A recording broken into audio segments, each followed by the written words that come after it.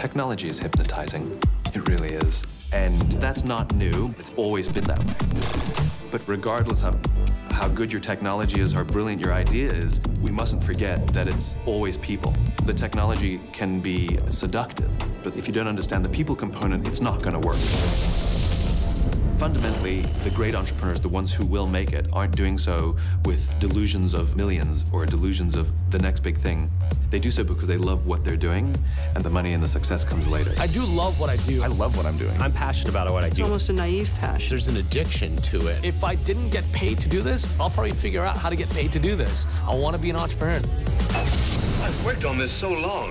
We're now seeing that sort of mad scramble to cash in on whether it's video games, a successful app. For years, I've done nothing but sleep, eat, and dream this machine. Now, you know, you can launch the company in a couple weeks, basically for free. The cloud, it's one of the biggest buzzwords in technology. Nowadays, there seems to be an app for everything. I could come up with the next cool app. Dennis, how big do you think Foursquare is going to be?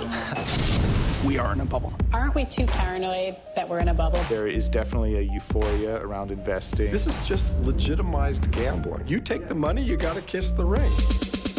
There's so much that can go wrong. You can get the wrong people. You'll have interpersonal conflicts. You have the wrong idea. Sign a bad deal. Technology doesn't work. You'll run out of money. I was completely out of money. Wait, let's just cut when there's an idea that's so compelling that it inspires you to leave stability. I somehow talked my family into how it's a good idea for me to stop getting paid. I was told I was crazy over and over again. We are putting absolutely everything into this. This is a snapshot of life on the front lines of innovation. Everything's being hacked in this moment in time. And the shared vision of five startups. I like building technology that solves problems. What are you willing to put on the line? Crazy enough to see that an idea can change the world. You just have to will that sucker into existence.